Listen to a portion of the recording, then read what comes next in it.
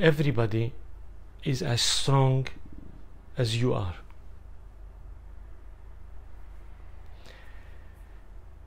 We know that people are different in so many different ways.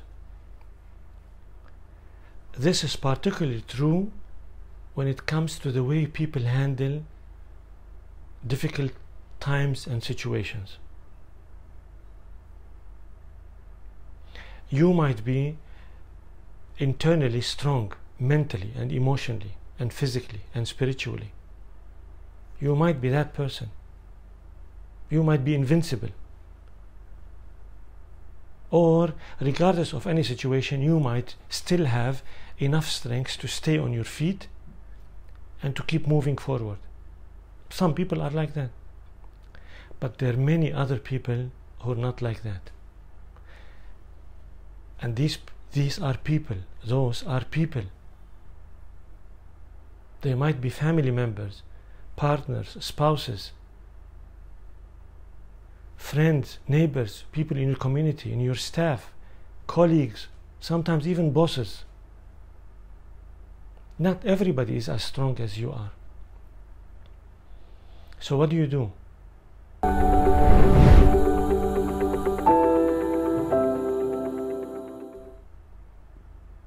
You let them be.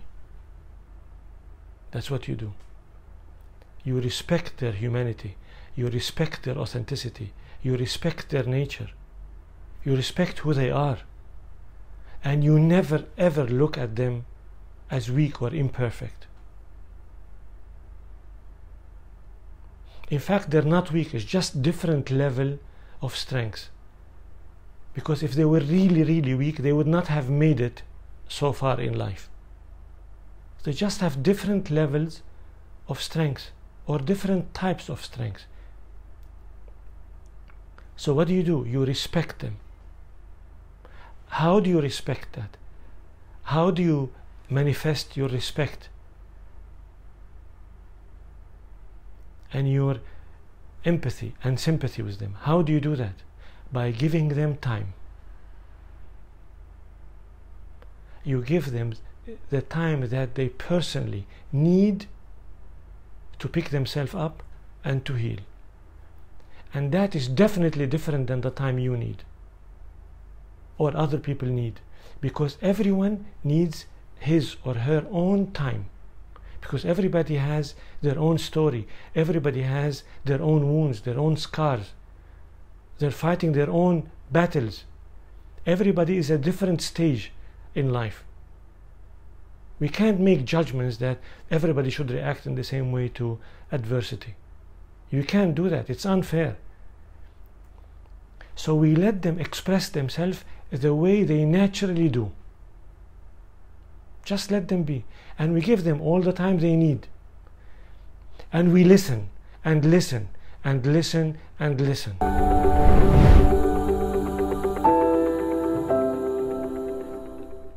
I don't know if there's if there are mechanisms that are more powerful, support mechanisms that are more powerful than just listening listening with full attention. The core of listening is attention, just being there and listening to them without interruption, without preaching them, without pep talk, without motivational phrases, without any of this. Sometimes you just need to be there and not say a word. And when you feel that you, there is an urge within you to advise and preach and just restrain yourself and don't do that. Because you when you listen to them you're helping them heal you're helping them recharge you're helping them pick themselves as themselves again pick themselves up again. You're helping them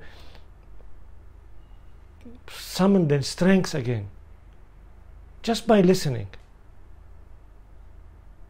serious compassionate active attentive listening you might feel tempted to share your own stories. Don't do that. If they say something that triggers your own stories, don't do that. This is not about you, this is about them.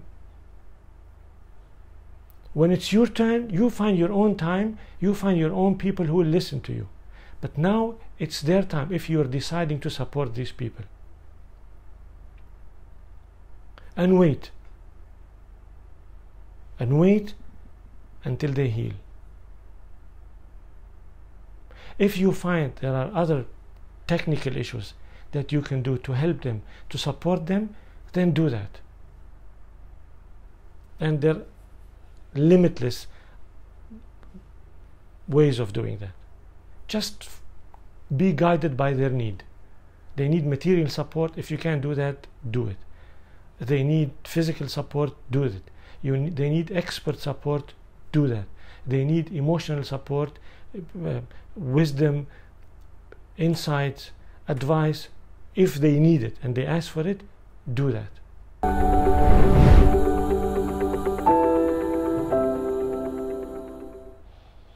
Sometimes they ask me why leadership is important. People ask me this question this is why leadership is important because people who are in distress need other strong people next to them.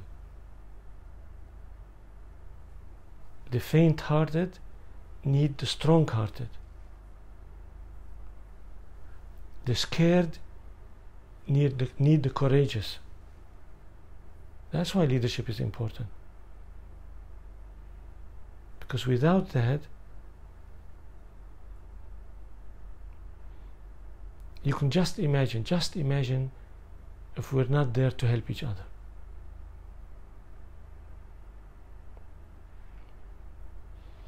So remember, not everybody is as strong as you are. Let them be.